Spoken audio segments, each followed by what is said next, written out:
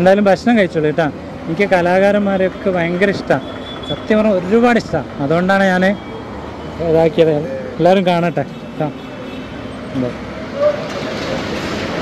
കഴിഞ്ഞ നിങ്ങളത്? കഴിഞ്ഞ? ഏ?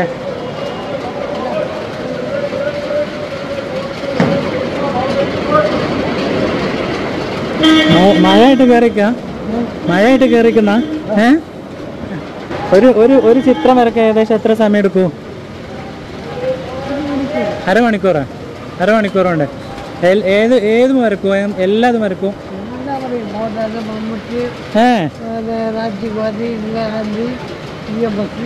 എന്നിട്ട് എന്താ ഇങ്ങനെ തെരുവിൽ ജീവിക്കണേ? ഇങ്ങനെ ഇവിടെയൊക്കെ ജീവിക്കണെന്തേ ഏ? പ്രിയപ്പെട്ടവരെ സിയാദ് നരിക്കോടനാണ്.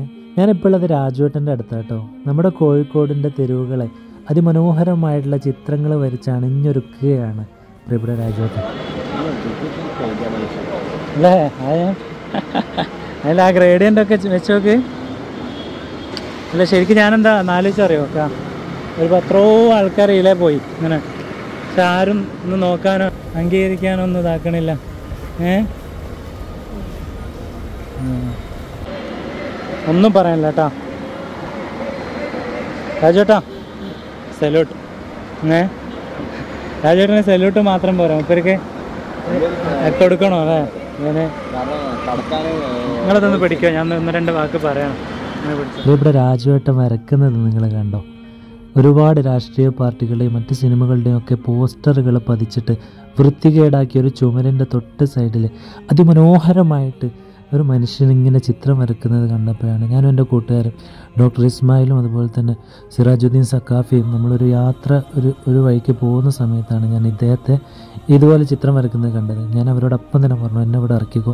നിങ്ങൾ പോയി വരുമ്പോൾ എന്നെ പിക്ക് ചെയ്തതുകൊണ്ട് ഞാൻ ഇറങ്ങിയിട്ട് രാജുവേട്ടനുമായിട്ട് വിശേഷങ്ങൾ പങ്കുവെച്ചപ്പോൾ അദ്ദേഹത്തിന്റെ ഒരു പാത്രം ഉണ്ട് മുമ്പിൽ വെച്ചിട്ട്. ഏതൊരു മനുഷ്യ മനുഷ്യസ്നേഹി നൽകി പോയിട്ടുള്ള ഒരു അമ്പത് രൂപയും രണ്ട് ഒരു രൂപ കോയിൻസുമാണ് ഞാൻ അതിൽ കണ്ടത്. കഴിഞ്ഞ ഏകദേശം ഒരു മണിക്കൂറോളമായി അദ്ദേഹം ഈ ഒരു ചിത്രം വരച്ചുകൊണ്ടിരിക്കുന്നത്. ഒരാളും ശ്രദ്ധിക്കുന്നില്ല. എന്തു പറ്റി എന്റെ കോഴിക്കോടിനെന്ന് ഞാൻ അദ്ദേഹത്തോട് ചോദിച്ചപ്പോൾ അദ്ദേഹം മനസ്സിൽ തട്ടി പറഞ്ഞൊരു മറുപടി ഉണ്ട്. നല്ലതൊന്നും ആർക്കും വേണ്ട മോനെ. ഞാൻ പറഞ്ഞപ്പോൾ എനിക്ക് വല്ലാത്തൊരു സങ്കടമായി. ഞാൻ എന്റെ കയ്യിൽ നിന്നുള്ളതിൽ നിന്ന് ഞാൻ ചെറിയൊരു പൈസ അദ്ദേഹത്തിന് സഹായമൊന്നുമല്ല എന്റെ ഒരു സമ്മാനമാണ് ഞാൻ കൊടുത്തപ്പോൾ അദ്ദേഹത്തിന്റെ മനസ്സിന് ഒരുപാട് സന്തോഷമായിട്ടുണ്ട്. സന്തോഷായ? സന്തോഷായ? ഏ? നിങ്ങൾ എനിക്ക് ഒറ്റ അപേക്ഷയുള്ളൂ നിങ്ങൾ മറ്റൊന്നും ചെയ്യരുത് കേട്ടോ കള്ളുടിക്കുക കാര്യങ്ങളും അങ്ങനെയൊന്നും ഇല്ലല്ലോ. ഒരിക്കലും ഇല്ല നമ്മളെ കലനൊക്കെ നശിപ്പിക്കുന്ന ഒരു കാര്യം അതാ ഏറ്റവും കൂടുതൽ. എന്തേ കൊടുക്കടാ. പത്ത് റുപ്യ കൊടുക്കേ. മൂപ്പര് കൈ നിട്ടുന്നൊന്നുമില്ലല്ലോ അധ്വാനിച്ച് ജീവിക്കുന്നല്ലോ. എന്നെ കൊടുക്കേ. ഏ? പണ്ടത്തെ പണ്ട് നാട് വിറപ്പിച്ച ആളാന്ന് തോന്നല്ലോ. ഏ? എന്തായാലും രാജുവേട്ടന് നിങ്ങളൊക്കെ കോഴിക്കോട് പോകുമ്പോൾ ഒന്നും ചോദിക്കില്ല ജസ്റ്റ് ഒന്ന് ഇദ്ദേഹത്തിന്റെ വരമൊക്കെ കണ്ട് ഒന്ന് സപ്പോർട്ട് ചെയ്യുക. ഒന്ന് കാണാം. കയ്യിൽ പത്ത് റുപ്യ എന്തുണ്ടെങ്കിൽ കൊടുക്കാം നിങ്ങളെ നല്ല കാര്യങ്ങൾക്ക് ഉപയോഗിക്കണം കേട്ടോ. ഇൻഷാല്ലാ ബസ് സ്റ്റാൻഡിലെ കിടക്കലേ? ഇത് നിങ്ങളെ ഏരിയ ആണല്ലേ ഏ? ഇവിടുത്തെ ആൾക്കാർക്കൊക്കെ നല്ല അഭിപ്രായമാണല്ലോ നിങ്ങളെ പറ്റിയിട്ട്. ഏ?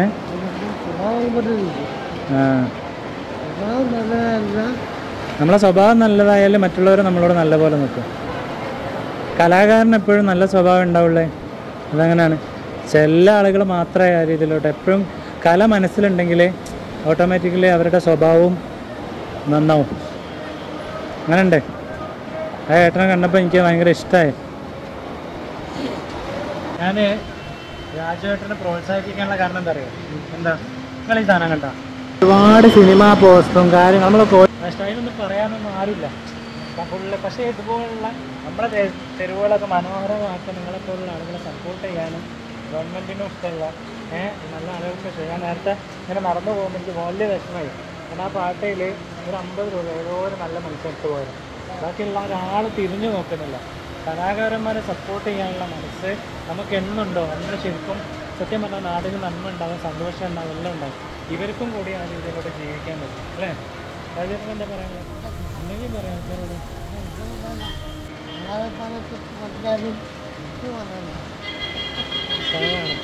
മനുഷ്യന് ഇപ്പോഴും ചിരിച്ചുകൊണ്ടേക്കേ ഉള്ളൂ. ചെറിയ സൗണ്ടുമാണ് ഞാൻ പോയി വരാം കേട്ടാ. ഒരുപാട് സന്തോഷമുണ്ട്. പ്രിയപ്പെട്ട സിയാദക്ക ഞങ്ങളെ വണ്ടി ഓടിച്ചുകൊണ്ടിരിക്കുമ്പോൾ പെട്ടെന്ന് നിർത്താൻ പറഞ്ഞു. ഞങ്ങളോട് ഒന്നും പറഞ്ഞില്ല. അങ്ങനെ വളരെ പെട്ടെന്ന് വണ്ടി നിർത്തി അവർ ഓടിപ്പോയി. എന്നിട്ട് നമ്മൾ തിരിച്ച് അവനെ പിക്ക് ചെയ്തതിന് ശേഷമാണ് ഈ വിഷയമാണ് നമ്മൾ പറയുന്നത്. വല്ലാത്ത സന്തോഷം തോന്നി. അതിനപ്പുറം പിന്നെ എനിക്ക് തോന്നിയിട്ടുള്ളത് അള്ളാഹുവിന്റെ പരിശുദ്ധ ആയത്ത്.